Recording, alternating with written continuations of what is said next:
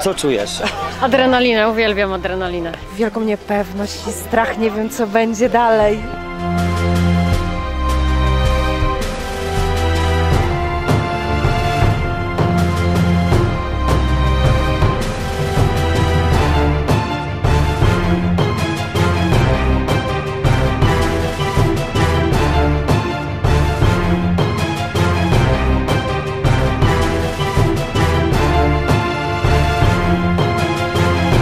Jak wam się podoba w ogóle Noc Naukowców?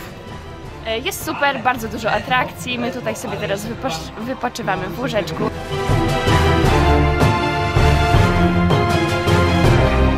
My przyjechaliśmy właśnie dla syna, żeby mu to wszystko pokazać, żeby zachęcić, że jednak warto się czegoś uczyć, bo się coś tworzy.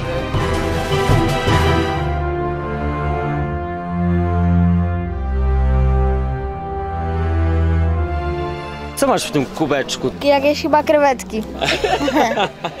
Ciebie co najbardziej interesuje? E, Różne drony i eksperymenty, jakieś takie glutki. Roboty, te właśnie też drony i że wieczorem będą te fajne światełka.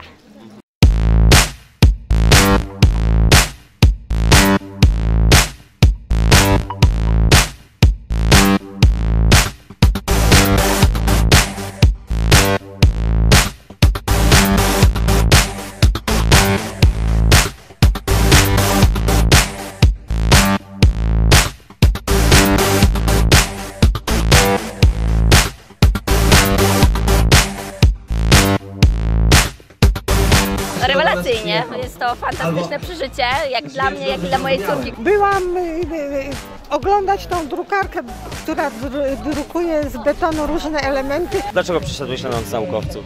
żeby się czegoś dowiedzieć ciekawego, interesującego. Zacząłem się bawić w drony, może interesować się bawić e, i to mnie ściągnęło tutaj na pewno. Będę naukowcem.